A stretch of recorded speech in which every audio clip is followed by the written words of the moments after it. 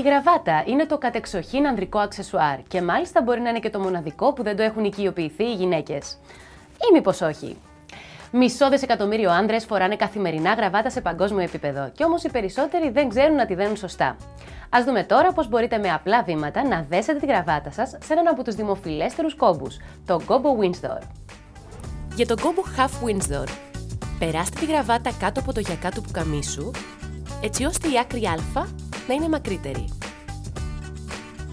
Περάστε την άκρη α πάνω από την άκρη β και αμέσως από κάτω και δεξιά σας. Περάστε την άκρη α μέσα στη θηλιά και τραβήξτε τη μέσα και δεξιά.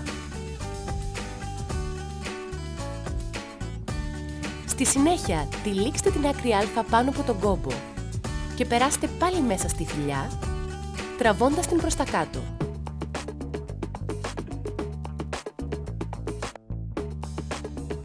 Με τα δύο χέρια, σφίξτε τον κόμπο, φέρνοντάς τον στην ίδια ευθεία με το γιακά του πουκαμίσου.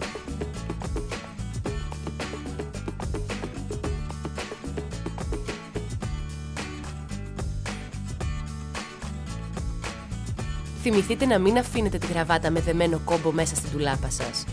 Αντίθετα, λύστε την και αφήστε την να αεριστεί για να διατηρηθεί σαν καινούρια.